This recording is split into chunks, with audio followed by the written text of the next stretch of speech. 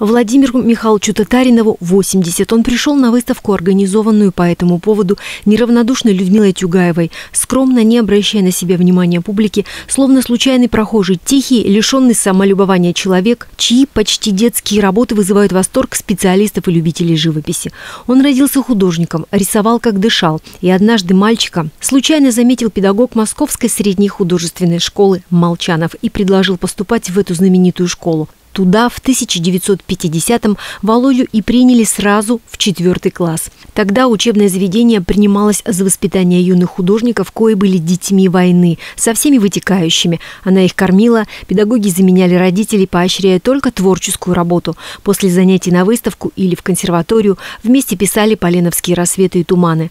Расположенная напротив Третьяковка второй дом, куда бегали просто на переменах или самозабвенно копировали работы мастеров. О том, как тогда учили в знаменитой художественной школе и какого уровня дарования оказался ученик, говорят эти портреты. Можно ли поверить, что написаны они 16-17-летним юношей? Понятно, что воспитанная в подобной среде молодежь с легкостью приобретала статус абитуриентов, а затем и студентов знаменитого Суриковского института, где, как выяснилось позже, яркая творческая индивидуальность расценивалась как вольность и не приветствовалась. Когда в нашем Суриковском не преподавали вот это направление. И поэтому увлекающихся левым направлением считали это как из ряда вон выходящим. Настолько выходящим, что Татаринова два раза отчисляли из института. Друзья спасали как могли. Да и сам Владимир пытался загнать себя в жесткие рамки профессорских требований. Доказательство на одном из портретов. Тогда педагог потребовал просто обрезать работу. Ему понравилось то, что я там руки так не закончил. Он тогда обязательно, значит, вот срежь, так вот, чтобы по грудь, а иначе там поставите двойку сразу. Я, значит, пришел к мне, я не стал серьезно, но все-таки срезал этот самый подрамник и закрутил назад. И это выставили. Там поставили там четверку, что кажется, так.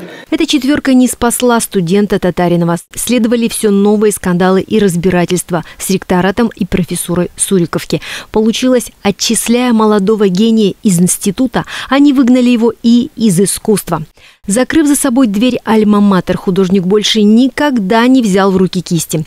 Он просто пошел на завод слесарем, где на протяжении 48 лет применял все свои творческие способности, все свое художественное воображение и точность руки мастера в изготовлении деталей для машин. Свои работы Татаринов после ухода из Суриковки не доставал более 30 лет.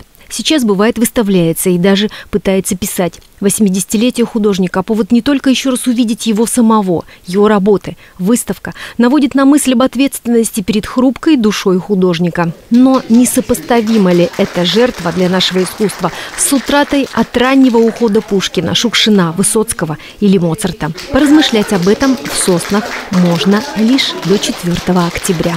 Ольга Винтер для телекомпании «Одинцова».